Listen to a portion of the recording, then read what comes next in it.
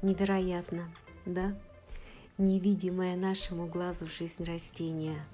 Просто какой-то танец любви.